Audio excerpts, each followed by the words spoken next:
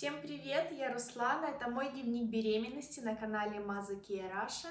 И сейчас у меня 28 недель беременности. А это значит что? Что у меня зак заканчивается седьмой месяц, начинается третий триместр и скоро в декрет.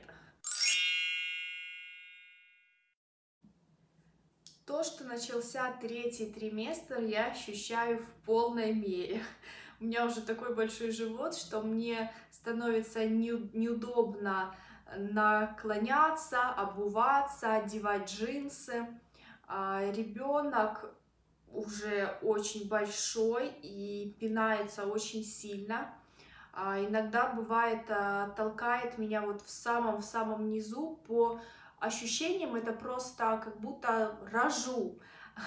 Описала свои страхи Э, гинекологу, она меня э, пощупала, послушала, померила, сказала, что ребенок пока находится высоко, переживать нечем, все нормально. А, но у меня уже ощущаются тренировочные схватки. Ощущения не самые приятные. Вот было в течение 30 40 минут мне постоянно хватало, отпускал живот, и это довольно больно, а в родах будет еще больнее и еще дольше. В общем, готовлюсь морально только пока.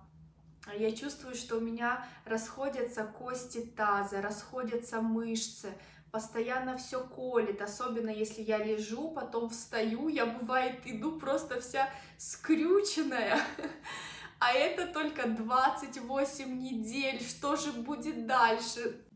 Мысли о преждевременных родах засели у меня в, в голове. Конечно, понимаю, что на данный момент у меня беременность протекает отлично, никаких осложнений нет, а, все хорошо, и нужно думать о а, хорошем, скорее всего, все будет а, в порядке но, наверное, из-за того, что с 11 недели беременности мне врачи постоянно твердили, какая у меня огромная э, гематома и как это опасно, клали меня в больнице постоянно и писали, что у меня угроза.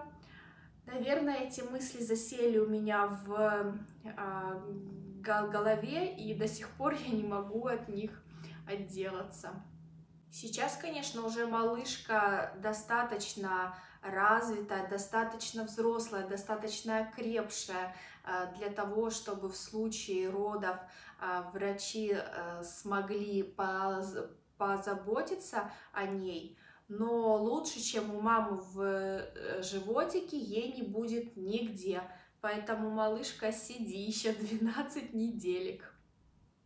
Я сегодня с обновками для себя любимой, потому что объемы увеличиваются, и я купила новый комплект э, белья и кофточку. Это все я приобрела в э, Мазаке. Пос посмотрите, кофточка такая длинненькая, прикрывает все очень э, комфортно. И знаете, обычно, когда я синтетическую одежду одеваю, мне нужно под нее одевать обязательно хлопковую майку, потому что кожа на животе очень чувствительная, сразу начинает э, чесаться от э, материала, от бирочек, от швов. Эта кофта настолько комфортная, настолько мягкая, что я не ощущаю никакого диск дискомфорта. И что еще для меня немало, немаловажно, я буду рожать в а, декабре, и потом мне всю зиму еще и весну а, нужно будет ходить в теплом свитерке и кормить а, малыша.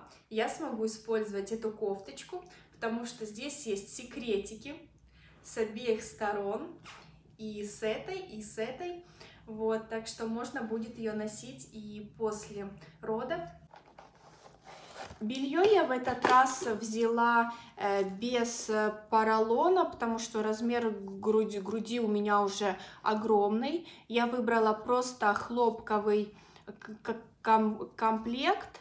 Э, все швы здесь скрыты, нет косточек, но есть вот такой секретик. Тоже можно, можно будет использовать для а, кормления. Ну и комплектики такие миленькие, слегка украшены кружевом на беленьком вот, на беленьком бюстгальтере тоже. Следующая неделя обещает быть самой спокойной, надеюсь, такое она и э, будет, потому что на 30 неделю у меня уже назначено очень много анализов, посещения гинеколога, терапевта, и нужно будет оформлять больничный по беременности и родам. Увидимся на 29 недели и будем говорить о первых игрушках для новорожденного малыша.